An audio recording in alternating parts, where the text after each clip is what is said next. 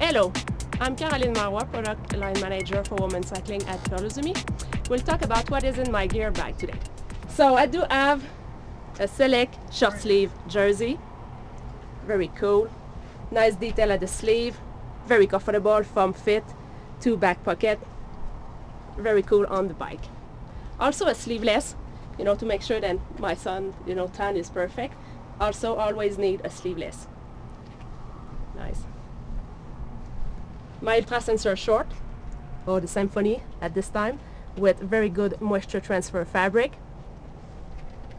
My Select glove with the gel pad, very comfortable. A nice kit. You will see that kit for Spring 11, the Cherry Blossom. You need to look on the market to find it. It's totally great looking on the bike. Here I have my mountain bike, uh, my mountain bike elite shoe. My pick. I love my pick. They are so light, comfortable. This is like a pair of slippers. I really love those Peak. Also we do have my tank. This is an early sample of Spring 11. You will see that next year. This is a great tank, very good support, very fashionable, and all the need you need on that tank are there. So here is a pretty fast overview of what is in my gear bag.